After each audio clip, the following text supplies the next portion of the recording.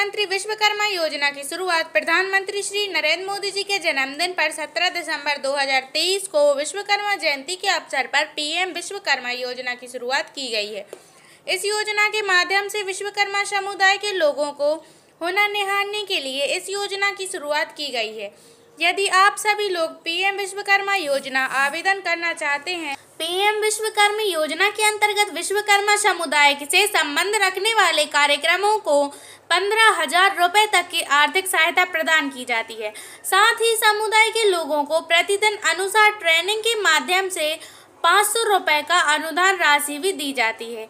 देश के अलग अलग क्षेत्र में रोज़गार के अवसर बढ़ाने को एवं विश्वकर्मा समुदाय के लोगों को आत्मनिर्भर बनाने के लिए और बेरोजगारी दर को कम करने के लिए इस योजना की शुरुआत की गई है। प्रधानमंत्री विश्वकर्मा योजना के ज़रिए विश्वकर्मा जयंती के दिन विश्वकर्मा समुदाय के कर्मचारियों और कौशल नागरिकों को प्रशिक्षण और उनके कौशल को निहारने और उन्हें आधुनिक तकनीकों का ज्ञान दिया जाता है। साथ ही पीएम विश्वकर्म योजना के तहत नगर सहायता दी जाती है।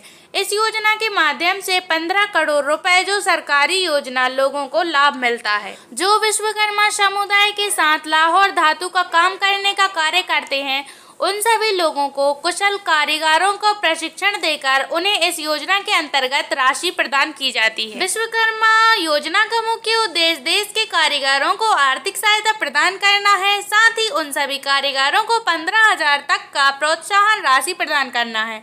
इसके साथ उन सभी कारीगरों को पाँच परसेंट की ब्याज दर पर तीन लाख तक का लोन देकर दो किस्तों के माध्यम से उन सभी कारीगरों को आत्मनिर्भर बनाना है। ताकि वे सभी कारीगर अपने जीवन स्तर में आत्मनिर्भर बन सकें।